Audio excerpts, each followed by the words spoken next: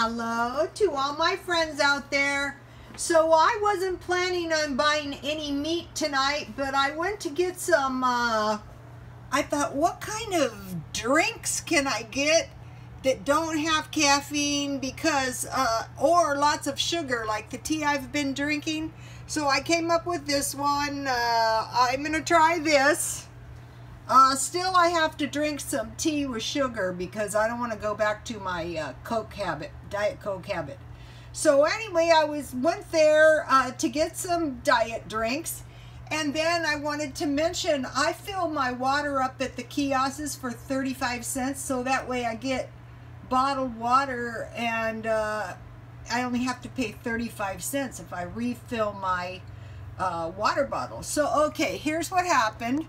I saw they had the chickens marked down and so I like to buy 10 pounds chicken, 10 pounds hamburger, and 10 pounds something else, any assortments of meat.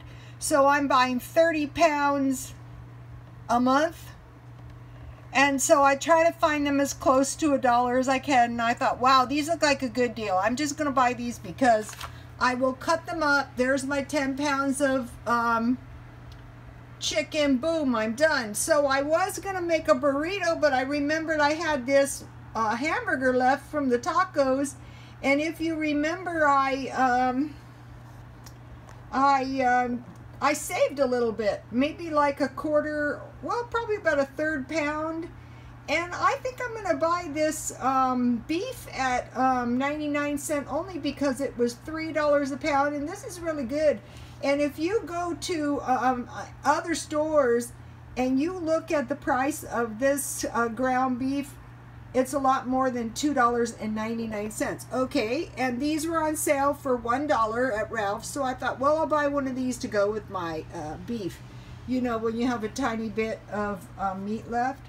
Okay, so this month I, I'm going to keep a um, running total of my um, meat so you guys can see, you know, someone said they would like a budget.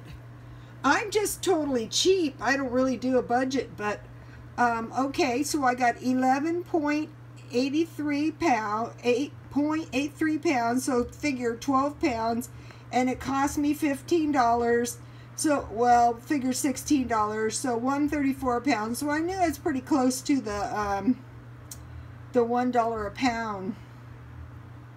So I thought, okay, that'll do. So I have now have the 10 pounds chicken. And then it's important to see what's left in the freezer. And as you can see, I have, this was a 10 pound ham.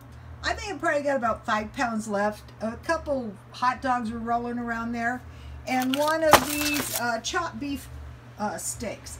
So I did pretty good eating all my um, meat up before buying uh, more. So what I do is I keep all the meat that I have left over on the right hand side of the um, freezer and I put the new meat on the left hand side of the freezer.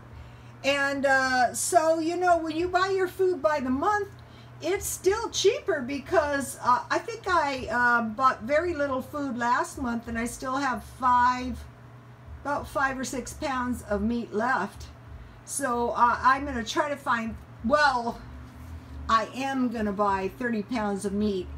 And the next thing I'm going to buy is uh, 10 pounds of this ground beef at 99 cent only. Okay, you guys, I will be back soon with some beef stroganoff Oh, and I bought some cheese uh, that was marked down one pound for three dollars and forty something cents at Ralph's. So that is about the rock bottom uh, price for a pound.